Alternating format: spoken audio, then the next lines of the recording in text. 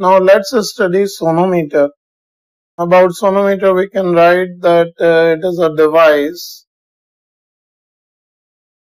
used to measure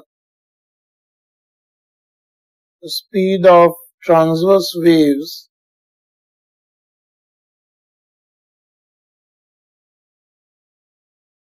in uh, stretched strings or wires. Is also used to compare the speed of uh, transverse wave in different strings or wires which are set between two clamps. Let's a realistic understanding about sonometer. Here you can see a sonometer consists of a wooden box.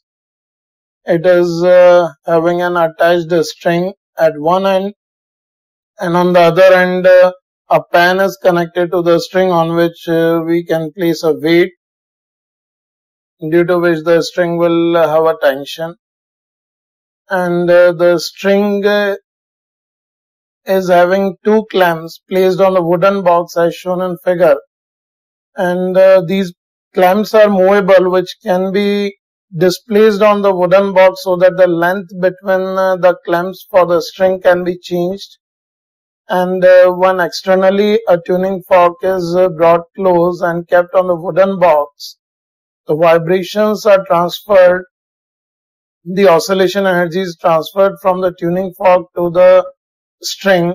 And uh, between the clamps uh, it will have some oscillations. But uh, stationary wave will be formed only if uh, the frequency of fork matches with any harmonic frequency here uh, will not change the frequency of fork. We can change the position of clamps to change the length between the clamps so that its fundamental frequency is adjusted to obtain uh, a stationary wave. Like here, uh, if we displace the clamp C2, we keep C1 fixed and if we displace the clamp C2, you can see at a particular position of C2, three loops are uh, obtained in the string. And that means at this position say this length is L1 which is the distance between clamp C1 and C2 the string uh, fundamental frequencies third harmonic is matching with the tuning fork so automatically the string starts oscillating in three loops. And uh, this resonance can be detected by a small piece of paper. You can see as soon as it matches the piece of paper jumps over the string because the amplitude of a string starts increasing due to resonance. Now this length L1 we call a resonating length of the sonometer string. Now if we further displace the clamp C2 away from C1, again the resonance will get disturbed and again resonance occurs when uh, this clamp C2 is moved to the new location where a string can oscillate in four loops. So here you can state the clamp C2 is displaced to uh, such a position where another node can be obtained. That's why now the string is oscillating in four loops. Say this uh, resonating length is L2, then uh, we can directly write as the uh, displacement of clamp C2 is from one node to another node. Here we can directly write L2 minus L1 is equals to lambda by 2 which gives us the wavelength experimentally twice of L2 minus L1.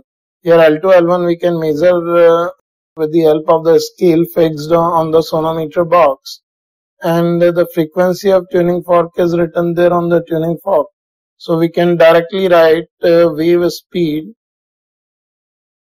in wire or a string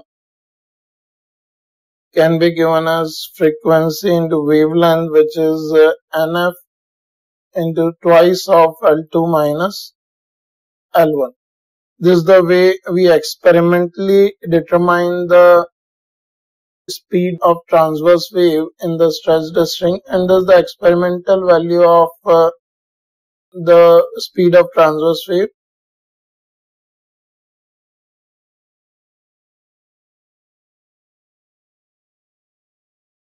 Theoretical value can be obtained by the expression T by mu. Here uh, T can be measured by the weight placed in the pan and mass per unit length we can separately determine and we can compare these results which are in close approximation. This is the way how we determine uh, experimentally speed of transverse wave in a stretched string using a sonometer.